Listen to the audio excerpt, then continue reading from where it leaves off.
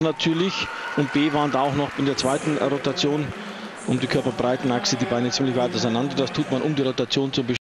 Aber das wird auch nicht so die hohe Wertung geben. Carlotta Giovannini am Stufenbarren.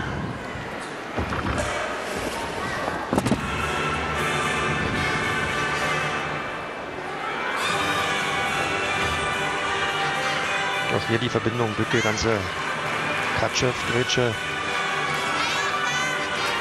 Packsalto zwischen den Holmen, auch ein D-Element.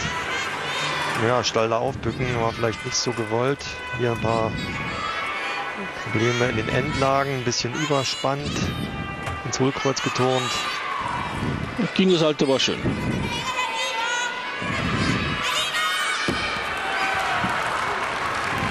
Ja, auch hier Sturz. 0,80. Die Matte verlassen. Also da hat ja am Ende die Kraft etwas gefehlt, um den Abgang auch zu Ende tun zu können.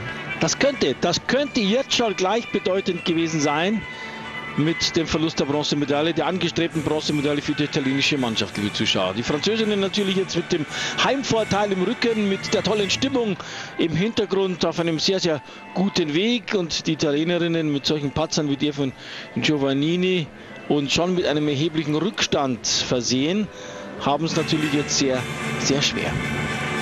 Man hat gesehen bei den Fliegern, also will das sicher machen, sehr nah rangeturnt, das Flugelement, um ja nicht vom Gerät zu fallen.